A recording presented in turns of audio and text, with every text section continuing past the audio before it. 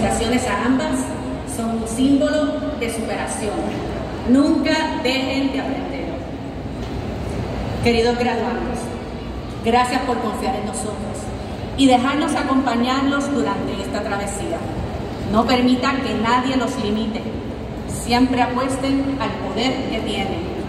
Recuerden que ustedes son líderes, agentes de cambio y tienen el calibre necesario para hacer la en nuestra sociedad y donde quiera que estén. Padres, cónyuges, amigos, familiares y profesores, gracias por su apoyo. Este logro también es de ustedes.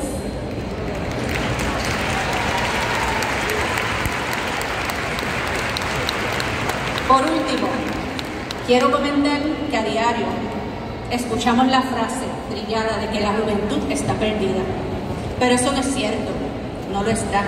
Es que estaba aquí en nuestro nido, preparándose para servir al país y al mundo.